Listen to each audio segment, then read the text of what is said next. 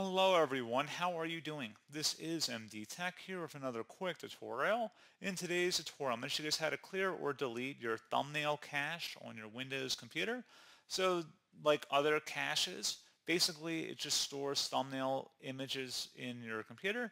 Basically they are the small preview images generated for Windows for media files such as videos, photos, and documents to quickly display a visual representation of the file contents. So if you're having an issue with your thumbnails and they may not be loading properly, they might be displaying as blank images or white images, there's some sort of issue with it. In today's tutorial, I'm going to show you guys how to hopefully resolve it. And without further ado, let's go ahead and jump right into it. So all you have to do is open up the search menu, type in disk cleanup. Best results should come back with disk cleanup. Go ahead and open that up. And now on this page, you want to scroll down to the bottom where it says thumbnails. Windows keeps a copy of all your picture, video, and document thumbnails so they can be displayed quickly when you open a folder. If you delete these thumbnails, they will be automatically recreated as needed. Select the OK button, and then select Delete Files.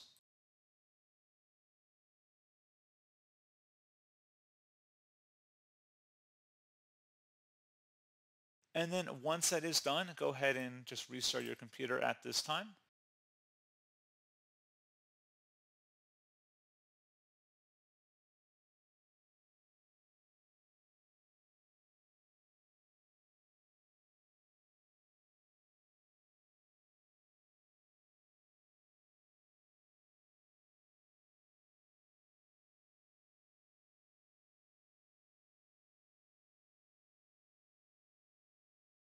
So there you go, guys. Hopefully that was a pretty straightforward process. And as always, thank you for watching. I do hope I was able to help you out, and I do look forward to catching you all in the next tutorial. Goodbye.